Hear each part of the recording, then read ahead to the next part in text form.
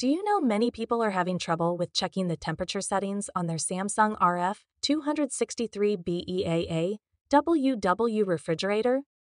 Don't worry. In this video, we'll show you how you do this.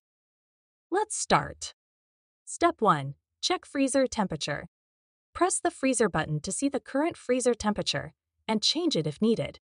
Step 2. View fridge temperature. Press the fridge button to view and adjust the refrigerator temperature. Step 3. Monitor display. Monitor the display to ensure the temperatures match your requirements. By following these steps, you should now be able to easily check and adjust the temperature settings on your Samsung RF 263 BEAE double UW refrigerator. Still need help? Visit our website for the complete manual. There you will also find questions and answers from other Samsung users. Did you find this video helpful? By subscribing, you help us continue to answer users' questions. So, subscribe to our channel.